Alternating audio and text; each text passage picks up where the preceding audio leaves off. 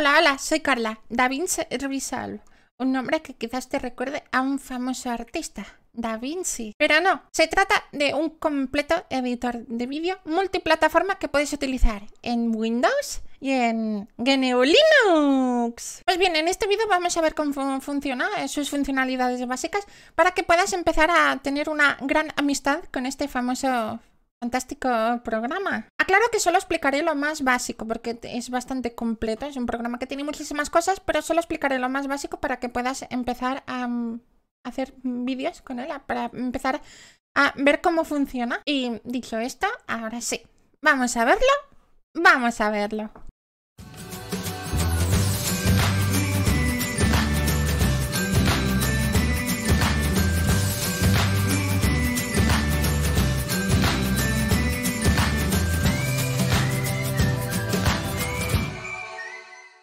Pues bien, para este tutorial os he preparado este fantástico fondo de pantalla, aunque desgraciadamente no lo vamos a ver porque al abrir el programa pues no podremos eh, contemplarlo. DaVinci Resolve. Cuando abramos el programa lo primero que veremos es, bueno, primero, primero lo que veremos es la pantalla de carga, pero luego ah, en cuanto se inicialice, lo primero que veremos es esto.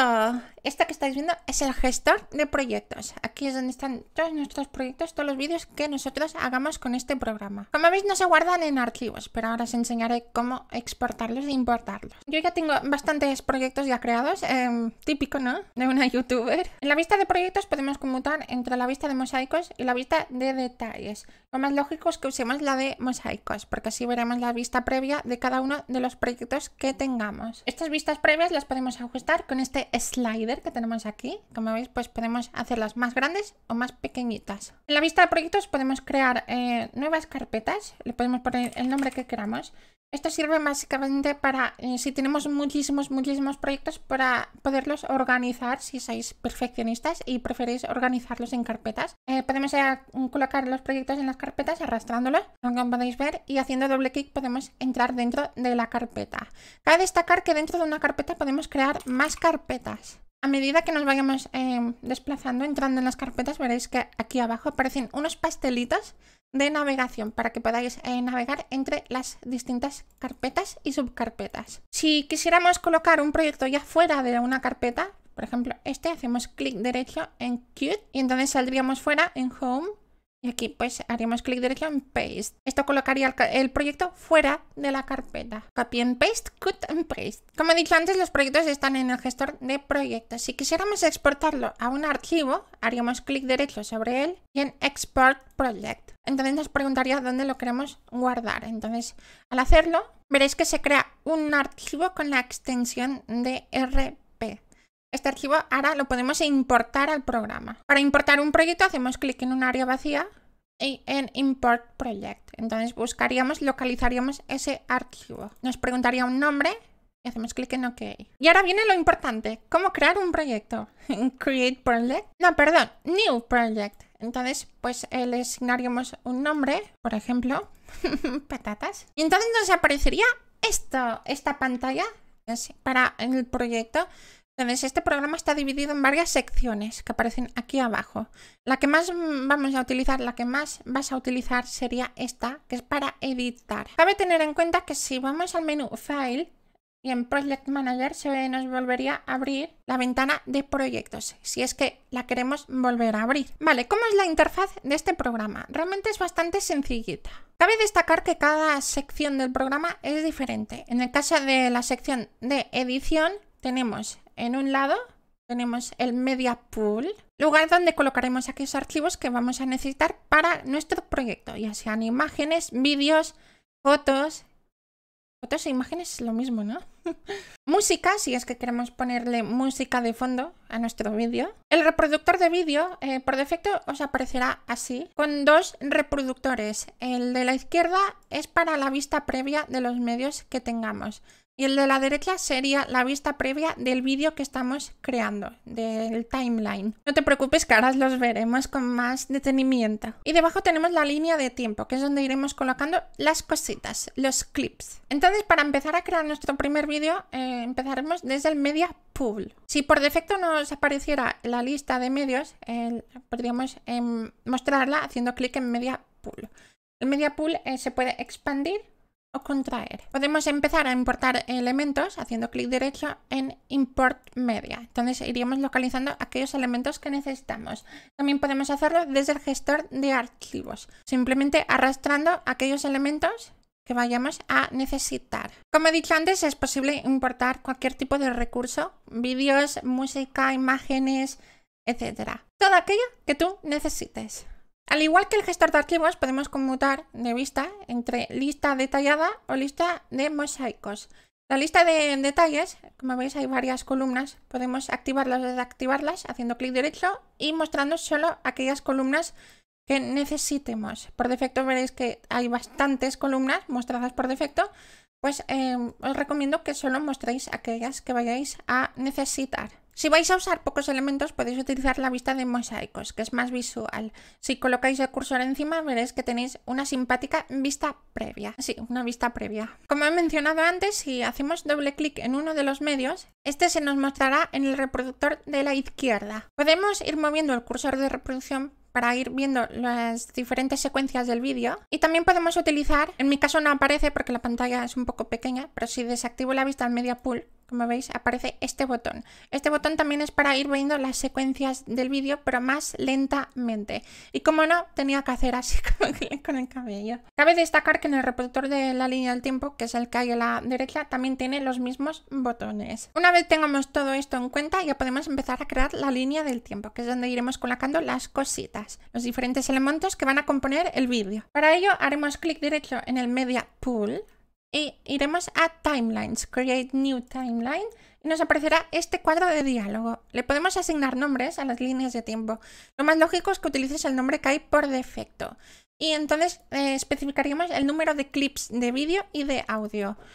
Eh, os recomiendo que empecéis con 5 de cada. Si luego necesitáis más, pues podéis crear más. También podéis customizar más opciones, eh, opciones avanzadas utilizando este botón. Entonces os aparecerán estas pestañas y podemos ir, por ejemplo, a formato y cambiar la resolución del vídeo.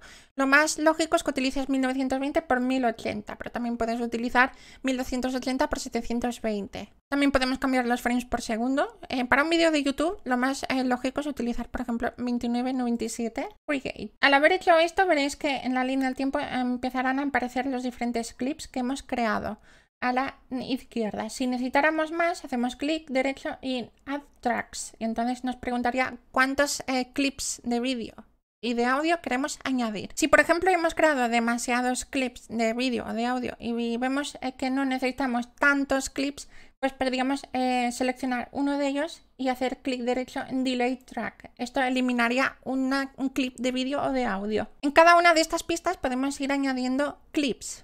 Pues todo aquello que añadamos se llama clip. Y de hecho hay varias maneras diferentes de añadir clips a la línea de tiempo. Una de ellas es mediante la vista previa de vídeos. Como veis, aquí tengo la vista previa de este clip, de este medio.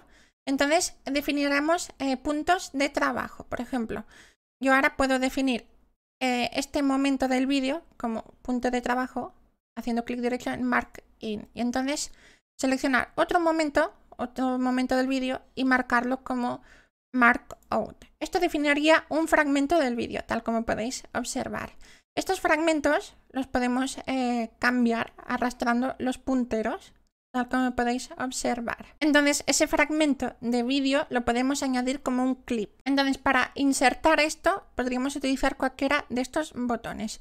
El primero lo que hará es insertar el clip en la línea de tiempo, tal como podéis observar. Como veis al hacer esto también se nos mostraría la vista previa de la línea de tiempo en el reproductor de la derecha. ¿Qué diferencias hay entre esos tres botones? Muy sencillo. El primero lo que hace es insertar, es decir, si yo coloco el cursor de la línea del tiempo en este punto y le hago clic, insertará este fragmento en la línea de tiempo, tal como podéis ver, desplazando todo y dividiendo todo aquello que haya encima del cursor. En cambio, el segundo botón lo que hace es colocarlo encima.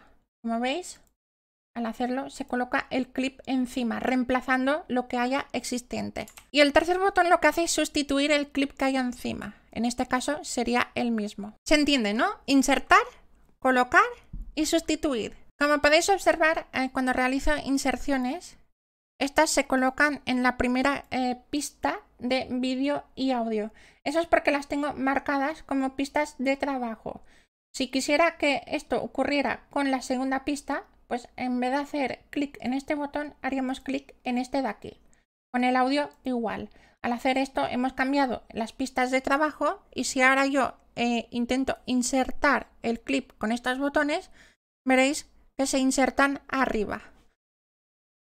Insertar, colocar y sustituir. Otra manera de insertar clips en la línea de tiempo es simplemente arrastrándolos del media full. Si yo, por ejemplo, este clip lo quisiera insertar, lo selecciono y hago clic en el botón de insertar. Entonces, como veréis, quedaría insertado en este punto. Lo que también podemos hacer es simplemente arrastrarlos, como podéis observar, a la línea de tiempo. Si el medio que intentáis insertar eh, tiene audio y vídeo, entonces se colocará también su respectiva pista de audio. Además, normalmente el vídeo y el audio de una sola pista eh, suelen ir enlazados. Tal como podéis ver, en este caso el clip tiene vídeo y audio.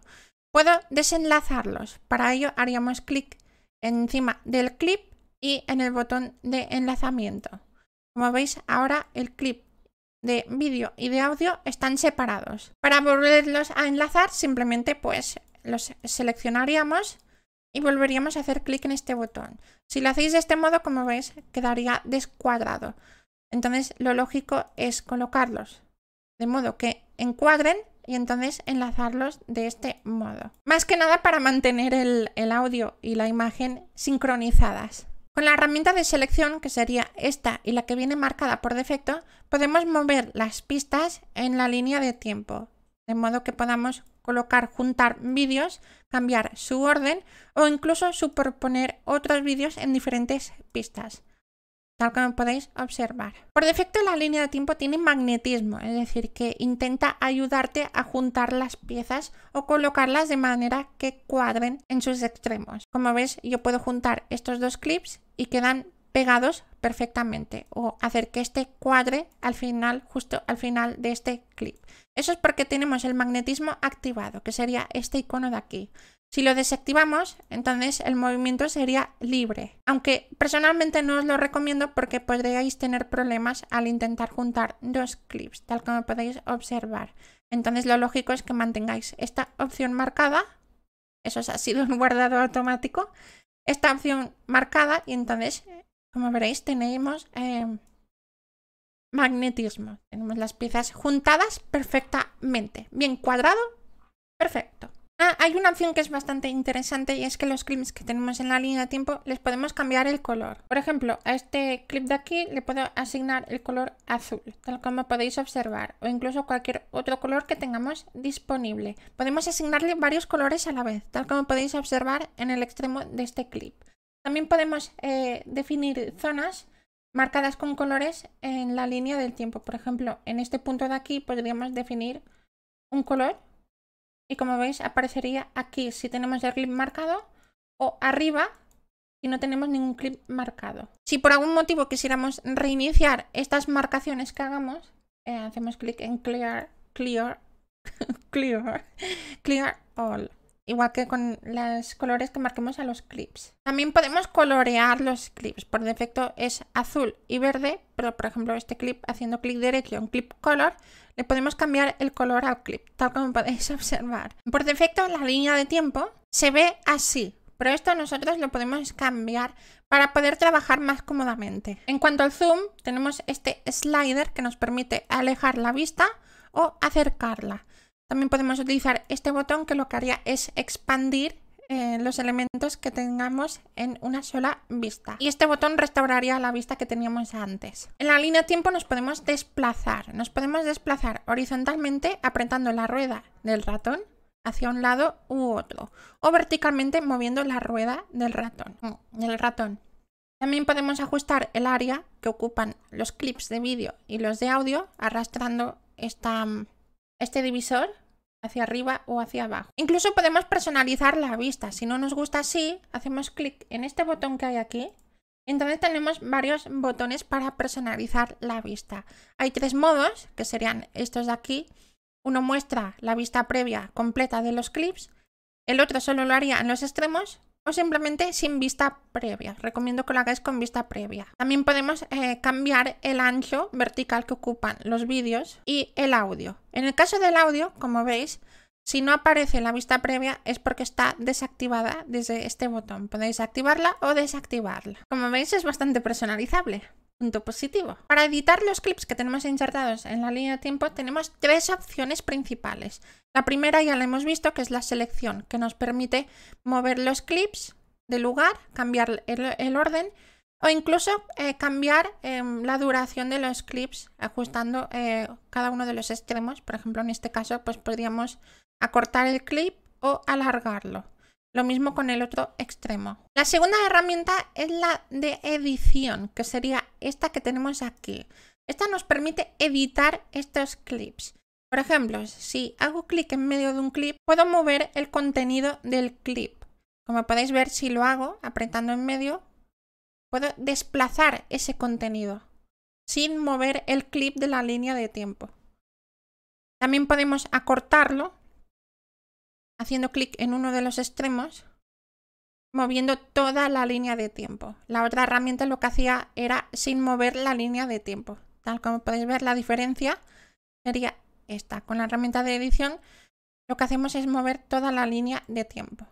O dicho de otra manera, con la herramienta de edición podemos alargar o acortar un clip ajustando a su vez la línea de tiempo. La tercera herramienta es la de corte, la de división, que sería esta de aquí. Esta nos permite realizar cortes en los clips, hacer divisiones. Por ejemplo, si queremos recortar los silencios de un fragmento, de un clip de vídeo, que sería aquí donde no, no digo nada, como veis hay un silencio, yo podría recortar estos silencios con esta herramienta, tal como podéis observar. Si utilizáramos la herramienta anterior, la de edición, podemos ajustar esos cortes que hemos realizado, tal como podéis observar. Y ahora pasemos a la eliminación. Imagínate que hay algo que no nos interesa, pues podemos borrarlo. Para hacerlo seleccionaríamos aquel clip que no queremos en la línea de tiempo y hay dos maneras de eliminarlos. La primera es haciendo clic derecho en Ripple, Ripple Delayed. Y esto lo que haría es eliminar el clip y desplazar la línea de tiempo hacia un lado, quitando también el espacio que ocupaba. El otro modo de hacerlo es seleccionándolo y haciendo clic derecho en Delayed Selected. Entonces esto eliminaría el clip y dejaría libre el espacio que ocupaba. Estos espacios también los podemos eliminar haciendo clic en ellos, como veis queda iluminado, y clic derecho en Ripple Delayed. Suena bien, ¿verdad? Ripple Delay. Una vez tengamos ya todo listo y preparado, colocado todo en su sitio, ya podemos empezar a editar los atributos de los clips que hemos insertado. Pues podemos editar sus propiedades. Entonces, para empezar a ello, lo que haríamos es ocultar la vista previa de medios, mostrar solo la vista previa de la línea de tiempo y mostrar el inspector con esta herramienta. De este modo, si seleccionamos un clip, podemos visualizar sus propiedades. Al igual que el Media Pool, el inspector lo podemos expandir o contraer. Yo en este caso lo dejaré expandido. Por ejemplo, podemos cambiar propiedades muy interesantes, en el caso de esta imagen, por ejemplo, la opacidad. Podemos cambiar el zoom o incluso la posición. Eh, con coordenadas X y Y. Hay más opciones interesantes como el ángulo de rotación. Podemos rotar los clips, podemos cambiar la profundidad de los clips, tanto verticalmente como horizontalmente, lo podemos eh, cambiar.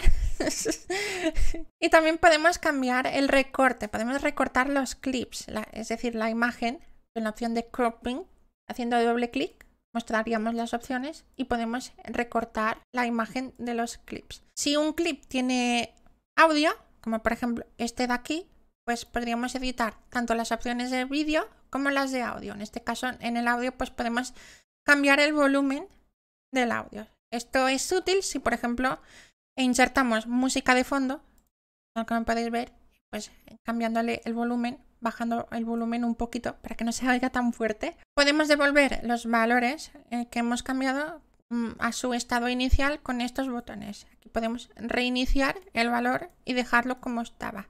Podemos hacerlo de uno en uno o de golpe haciendo clic en este botón. Cambiar el zoom, la posición o el recorte a veces puede ser incómodo hacerlo así. También hay una manera más rápida de hacerlo. Por ejemplo, en el caso de esta imagen, si queremos cambiar la posición, podemos hacerlo activando este botón. Al activarlo, como podéis ver, podemos cambiar rápidamente la posición o incluso cambiarle el zoom. Si quisiéramos editar el recorte, haríamos clic en este desplazador y hacer clic en crop. Entonces podríamos editar rápidamente y con más precisión, pues en el reproductor con la rueda del ratón podemos acercar o alejar la vista y editar el recorte. Por defecto los atributos que definamos a un clip, todos estos atributos que hemos ido viendo, por defecto son estáticos. Es decir, que si yo cambio la posición de este clip, lo coloco aquí arriba, durante toda su reproducción se mantendrá la posición allá donde lo haya definido. Pero podemos hacer que los atributos sean dinámicos, especificando diferentes momentos, diferentes puntos de la línea de tiempo y que vayan cambiando. Para ello lo que haríamos es habilitar los momentos este botón y nos aparecería el editor eh, gráfico de momentos. Entonces para trabajar cómodamente eh, desplazaríamos la vista para que se vea en grande, así, entonces eh, definiríamos qué propiedades, qué atributos son dinámicos. Para ello, o bien lo habilitamos haciendo clic en este puntito, o bien lo hacemos desde este botón. Nos mostrará una lista de todos aquellos atributos que pueden ser dinámicos. En este caso, si queremos ir cambiando la posición, pues los habilitaríamos tanto la posición horizontal como la vertical. Al hacerlo veréis que aparecen unas líneas en este gráfico. Estos son los valores que tienen actualmente eh, la coordenada X y Y. Entonces lo que haríamos ahora es definir los diferentes momentos clave, los diferentes momentos donde irán cambiando. Por ejemplo, podemos empezar con el primero en el principio del clip, haciendo clic en este botón. Este botón añadiría un momento en esta posición. Entonces podemos ir definiendo diferentes momentos clave Desplazando el cursor de la línea del tiempo, podremos definir el segundo en esta posición, volviendo a hacer clic en este botón y un tercer punto clave. Cabe destacar que cuando estamos encima de uno de ellos podemos eh, desactivarlo volviendo a hacer clic en, en este mismo botón. Como veis ahora tenemos tres puntos clave diferentes, tres momentos en los cuales las propiedades irán cambiando. Entonces, para editarlas podemos hacerlo de diferentes modos. El primero es pues simplemente cambiando la posición del clip. Como podéis observar, pues ahora lo he colocado aquí. En el siguiente momento, pues puedo colocar el clip aquí abajo.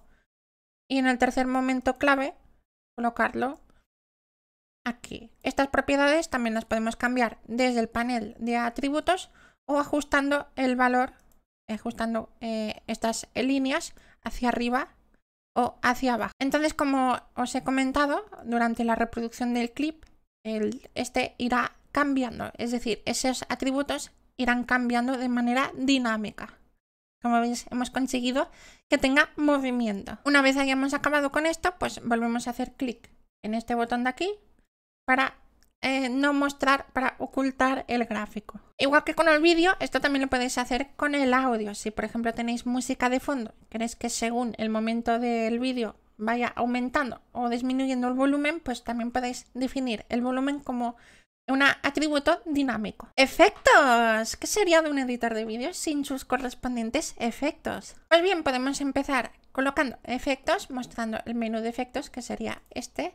Esto ocultaría el media pool y mostraría en la lista de diferentes efectos, la librería, la biblioteca de efectos. Tenemos varios tipos de efectos. Uno de ellos son las transiciones, tanto de audio como de vídeo.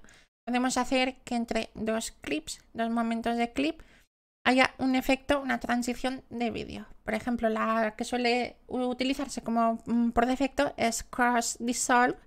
Entonces, para aplicarlo, nos colocaríamos eh, en un momento en dos, entre dos clips y entonces arrastraríamos el efecto ahí. Como veis, ahora se ha aplicado en este momento. Las transiciones, al igual que los clips, también tienen atributos. Si las seleccionamos, veréis que aquí aparecen sus atributos. Podemos cambiar la duración, tanto en segundos como en frames. Y podemos cambiar, por ejemplo, el tipo de transición. Si queremos que sea una diferente, por ejemplo, Deep to Color, pues eh, podemos cambiarla. Y según el tipo de transición, eh, tiene unas propiedades diferentes. Por ejemplo, en este caso, en el caso de una transición de color, como veis, pues muestra un color disolvente entre los dos clips. Pues este color lo podemos cambiar con los, eh, mediante con los atributos. Mediante los atributos. Entonces podríamos cambiar el color. Seleccionaría púrpura. Entonces, pues ahora la transición sería de color púrpura. También podemos aplicar efectos de vídeo. Para ello iríamos a OpenFX y como veis pues tenemos varias. Algunas son incluidas en la versión gratuita y otras solo se incluyen en la versión Pro. Entonces, por ejemplo, podemos aplicarle eh, desenfoque a este clip. Entonces, pues en este caso eh, lo arrastraríamos encima del clip. Como veis, pues aplicaría desenfoque. Al hacer esto nos aparecería una pestaña nueva que es OpenFX. Entonces, en esta pestaña podríamos editar los valores de los efectos. Por ejemplo, cuánta, em, en este caso, cuánta difuminación le aplicaríamos. Pues según el efecto aparecerían unos atributos u otros. Si queremos eliminar el efecto, haríamos clic en el botón de la papelera. Y en cuanto a efectos, eh, tenemos finalmente el de texto. Por algún motivo el programa considera que los títulos, el texto, son efectos. Entonces podemos añadir texto haciendo clic en Titles y en Text. Entonces eh, en este caso los arrastraríamos como clip en la línea de tiempo, no como un efecto. Como veis, ahí lo tenemos. El texto tiene dos pestañas, la de vídeo, porque es como si fuera un vídeo, y la de texto. Entonces aquí podemos editar el texto del, título. Como podéis observar, podemos cambiar el color, el tamaño. Podemos cambiar también esto. podemos cambiar la alineación, eh, alineación, el tipo del párrafo. Podemos añadirle bordes a los párrafos. La posición, el zoom, el zoom del texto. El ángulo del texto también. Luego hay algunas propiedades interesantes como un sombra, podemos eh, añadirle sombra al texto, que es un efecto bastante interesante. Podemos añadirle el stroke, que es un borde. Si por ejemplo hago el texto grande en, en size, le cambio el tamaño, lo hago más grande. En stroke puedo añadir un borde, como podéis observar, un borde a la fuente y luego podemos aplicarle un color de fondo. En background podemos añadir un fondo al texto, tal como podéis observar. Así que podéis añadirle diferentes efectos. Y al igual que un clip normal, podemos añadirle, podemos cambiar los atributos de vídeo o incluso que vayan cambiando, como os he enseñado antes con la imagen de Linux, pues que vaya eh, moviéndose el texto con diferentes momentos, ya sea el movimiento, el zoom, cualquier atributo. Ajustes. El programa no solamente posee todas estas funciones, sino que también podemos realizar ajustes de color. Y esto personalmente a mí me gusta muchísimo. Para ello lo que haríamos es colocar el, el cursor de la línea de tiempo, por ejemplo, encima del clip que queramos cambiar, lo seleccionamos y cambiamos de modo. En vez de editar, cambiaremos a color, que sería esta pestañita de aquí. Entonces se nos cambiará todo. Entonces en esta ventana, que teóricamente es más sencillita porque no necesitamos cambiar muchas cosas, lo principal son los nodos, que son diferentes capas de trabajo. Podemos crear diferentes nodos, en principio el corrector, e irlos enlazando entre ellos, que sería para definir el orden de aplicación. ¿Qué significa? Que el estado inicial de la imagen sería este de aquí, sería esto. Entonces se aplicarían los efectos que definamos en la primera capa, posteriormente los efectos que definamos en la segunda capa y esta sería la imagen final de ese clip. Entonces en la primera capa lo que puedo hacer por ejemplo es hacer que la imagen se vea en blanco y negro. Entonces para ello la seleccionaría y podría cambiar los ajustes de color mediante esta pestaña. puedo cambiar la saturación de modo que quede en blanco y negro. Esto lo hemos hecho en esta capa. Ahora en la segunda podemos definir otros efectos. Por ejemplo, hacer que el fondo de la imagen quede desenfocado.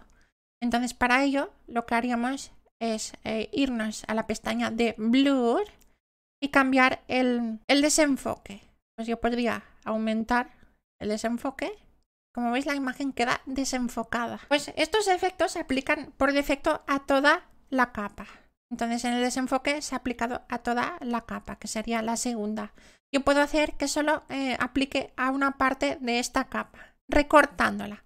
Para recortar una capa haríamos clic en la pestaña de Window, Window y haríamos clic en Curve, que es la opción más completa que nos permite ir recortando la capa. Entonces, si yo la recorto de este modo, entonces como podéis observar, el desenfoque solo se mostraría en el fondo. Como veis, mi imagen no está desenfocada. Esto también lo puedo hacer en la primera capa. Si yo la he puesto en blanco y negro, puedo editar el recorte para que solo aplique al fondo y hacer que mi imagen se vea en color. El problema de esto es que em, queda el recorte muy duro.